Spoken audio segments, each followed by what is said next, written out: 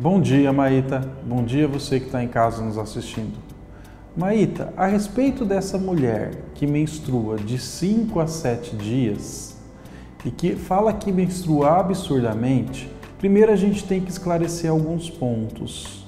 O que, que é esse absurdamente? Então, é difícil você dizer porque não consegue quantificar. Mas vamos pensar em um caso específico.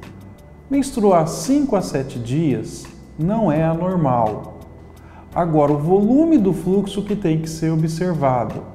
Um exemplo, a paciente ou a mulher ela coloca um absorvente noturno de manhã e esse absorvente transborda por 9, 10 horas da manhã. É um fluxo muito intenso.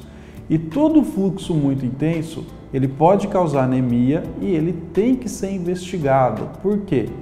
Pode ser apenas um distúrbio hormonal, um distúrbio disfuncional, ou então ele pode ser algum caso de miomatose, pólipo, adenomiose. Esses casos precisam ser investigados. Agora, é difícil relatar o que, que é esse volume ou esse fluxo menstrual absurdo. Espero ter esclarecido. Bom dia e até a próxima!